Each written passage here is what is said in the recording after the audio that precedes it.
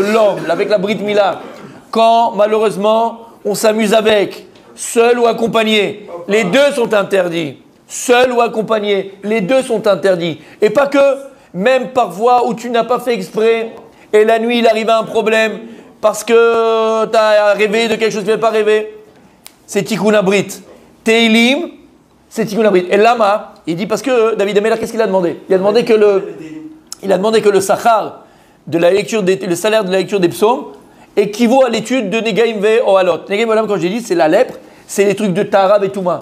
Et c'est quoi le Tikkun Abrit? C'est quoi la Brit Mila Lorsqu'il y a Zera le Batala, c'est Touma. On a fait dans Masret Brachot, Baal Keri. Baal Keri, à l'époque, il ne pouvait pas étudier, il fallait qu'il se rembourbe et toutes ces choses-là.